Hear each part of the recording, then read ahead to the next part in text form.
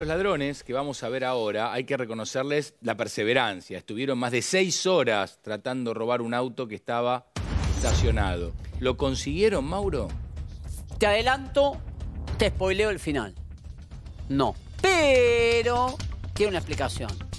208 arranca este conato de robo por parte de esta gavilla de delincuentes. Se meten adentro de un auto. No sabemos si lo presumen abandonado no nos importa. Y empiezan a tratar de robar el coche, no solamente lo que hay adentro, el auto en sí, pero no pueden. Van pasando los minutos, ya son seis que contabilizamos, 208, 214. Uno dice, che, pispeamos todo lo que es motor, van viendo qué es lo que no les permite arrancarlo, pero no lo logran acreditar. Es tanto el tiempo que estuvieron que dijimos, dale play, y aceleramos la imagen. Para no hacerlo en tiempo real, si no estamos tres noticieros, las novelas y demás. Pero, cuando ven que no le pueden robar, todo de madrugada, entre las 2.06 y las 2 y 17, se terminan robando un neumático. ¿Ves? Va pasando 208.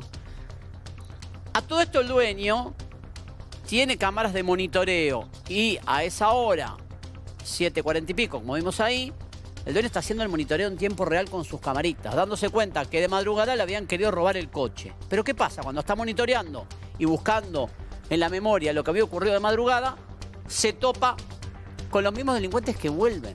A eso de las 8 de la mañana.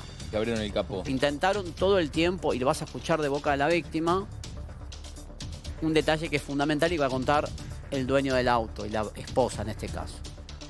Lo que hacen para que no les roben el coche como modo preventivo, veremos si lo cuentan de este modo así, por lo menos es lo que yo recuerdo del anticipo de la nota, es que le sacan la batería para que los chorros no se lo puedan robar. Veremos si lo hicieron adrede o fue una casualidad que no tenía batería o si es un mecanismo que encontraron para evitar el robo. Igual se lo destrozaron el auto, ¿no? Le rompieron una ventanilla, le sacaron la goma, el neumático de...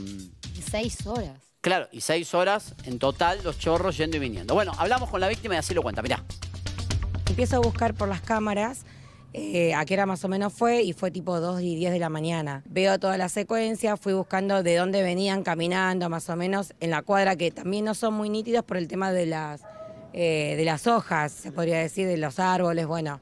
Y pasó eso. Y en el trayecto que yo estaba buscando las cámaras, porque mis hijos se fueron 7 y cuarto, 7 y 20, 7 y 40 volvieron de vuelta. Y si iban de vuelta es como que Nunca se me ocurrió seguir mirando eh, en la cámara en vivo cómo estaba el auto ni nada, pero en sí eh, volvieron de vuelta los chicos. No llegaron a robar nada, eh, solamente que como que querían sacar algo como la parte de adelante, que sería, no sé, los nombres, porque el auto es de mi hermano igual, pero mi hermano no va a estar haciendo esto y como lo publicamos nosotros, entonces por eso. Le rompieron el vidrio que lo mandó a reparar y bueno, lo que le robaron de la parte de adentro. El tema de la batería, mi hermano como el auto durmió afuera por cuestiones de espacio, él le sacó la noche anterior la batería y lo dejó adentro, por suerte. Por eso el auto tampoco arrancó.